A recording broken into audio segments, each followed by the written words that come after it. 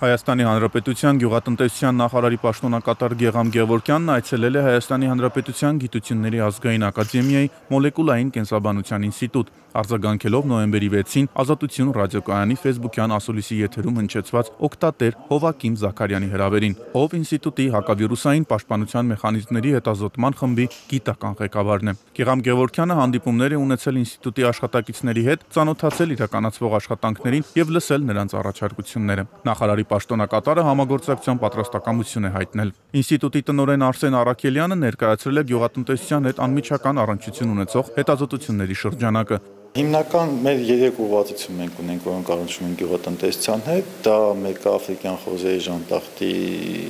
վիրուսի դեմ պայքարի միջոցների մշակումը, որտեղ այս բանը դա շատ մեծ խնդիր է ամբողջ աշխարհով։ Մյուս ուղղությունը դա խաղողի գենետիկական հետազոտություն Եվ երրորդ ուղղությունը, որով մենք զբաղվում ենք, դա հակաբիոտիկակայուն բակտերիաների դեմ պայքարի կենսաբանական միջոցների մշակում։ Վերջի 3 տարին ընթացքում ավելի ճիշտ մենք հետազոտում ենք տարբեր ուրեմն միացությունների հակավիրուսային ազդեցությունը խոզերի աֆրիկյան ժանտախտի վիրուսի դեմ։ Մենք արդեն ընդհանրել ենք 4 միացություններ տարբեր քիմիական,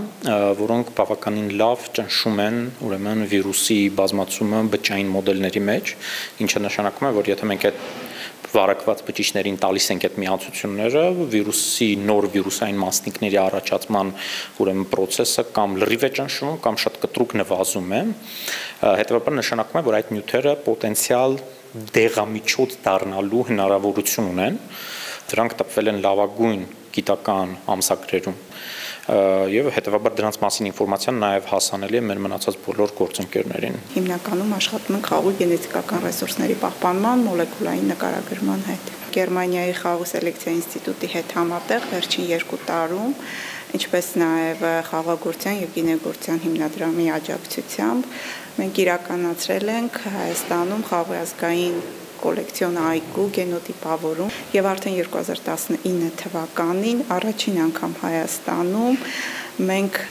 կբացենք այսպես կոչված խաղի հայկական սորտերի տվյալների բազը, որը կապված կլինի նաև եվրոպական տվյալների բազայի հետ խաղողի։ Դա մեզ կօգնի բարձրացնել մեր սորտերի ճանաչելիությունը վերջերս են վերադարձել Գերմանիայից եւ մենք հենց այդպիսի հետազոտություն ենք իրականացնում լավագույն կենտրոններից մեկի հետ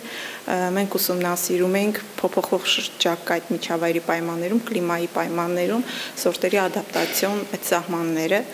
եւ մեր սորտերը հատկապես մեր վայրի խաղողը իրենք շատ մեծ պոտենցիալով են օժտված եւ միանշանակ նրանք նրանց կարելի է ներգրավել սելեկցիոն հետագա աշխատ աշխատանքներում ավելի ռեզիստենտ գենոտիպեր ստանալու ուղղությամբ